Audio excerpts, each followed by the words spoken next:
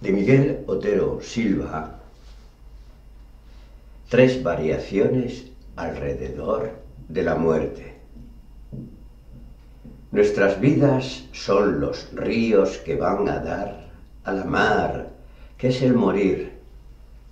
Jorge Enrique. Una.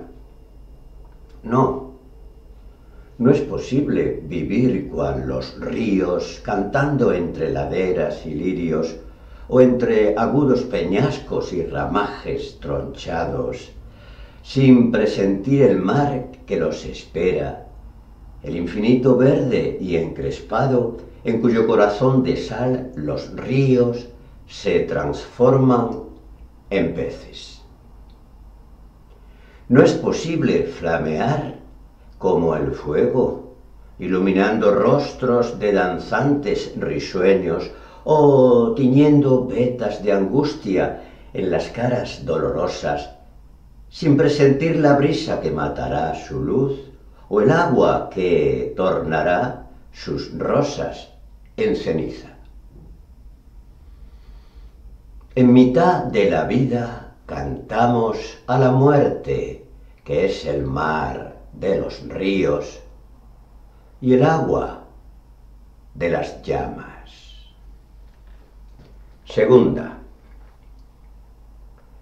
símbolos de la muerte no sueñan ser el hueso, ni las cuencas vacías, ni la mortaja flácida. Los huesos son apenas el portal de la muerte. Cuando los huesos dejan de ser huesos y entre su blancor rígido hay un temblor de gérmenes, es que nace la poesía de la muerte, es que despunta el símbolo creador de la muerte.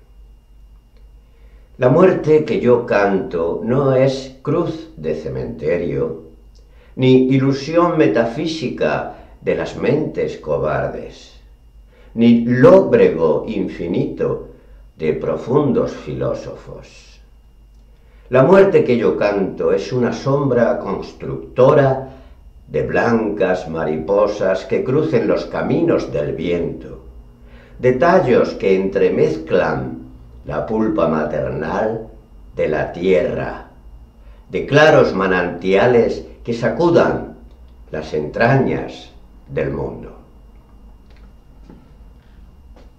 Tercera, un niño es la crisálida de un amor y de un llanto.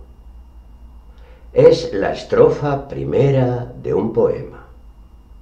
Es la cuesta inicial de una montaña.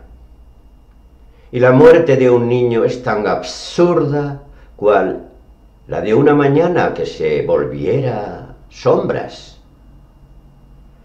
Si ayer se desgarraron las carnes de la madre, si un rumor de blancura le despertó los senos, esa sangre, esa leche, ese dolor han sido la raíz de los pasos de un hombre.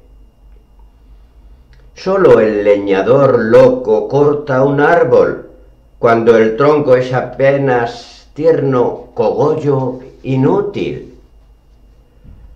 Solo loca la muerte ha de matar un niño, apagar un amor que no ha nacido y secar unas lágrimas que no han corrido nunca. Mientras los niños mueran, yo no logro entender la misión de la muerte. De 25 poemas.